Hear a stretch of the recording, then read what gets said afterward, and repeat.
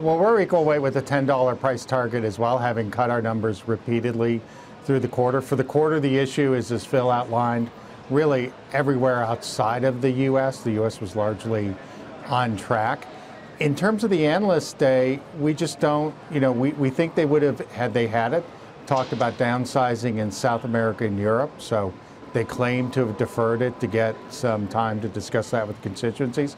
We think even if you go through that and why we're still $10, they could actually be successful in downsizing, driving up margins, and we just don't see that much upside in the stock. They'd be doing what Fiat, Chrysler, and GM have done already, and frankly, those stocks, uh, particularly GM, have not been rewarded for that. Brian, uh, Brian, it's Evan Newmark. This brings me to my question, which is, are these totally Ford specific issues, or is it still just an issue of overcapacity in the global car industry? I mean, we go back, everybody, everything was, the world was coming apart. Ford was the only one that wasn't bailed out, at least officially, by Washington. And here we are 10 years later, and the, the industry really has never fully recovered, even though conditions, you would say, have been extremely good for the past decade. Look, it's it's a structurally better industry than in the Bill Ford days but it's still not perfect. There's overcapacity in South America, there's overcapacity in Europe, particularly in the sedan market where Ford's part of Ford's business is.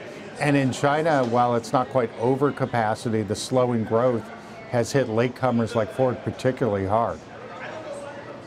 Uh, Brian, I mean, if you really dial it back, it seems as if the market um, is essentially pricing in uh, something bad in terms of where the auto cycle is headed, but then also who knows what comes after. I mean, is Ford being viewed as just a sort of structurally disrupted type company just because of the, the product category it's levered to?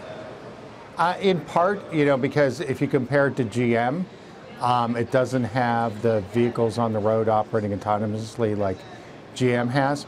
I think Ford, it comes back to a lot of execution outside of two strong points for them the pickup trucks in the US, LCVs in Europe and South America. Everything else they do is not performing at world class levels.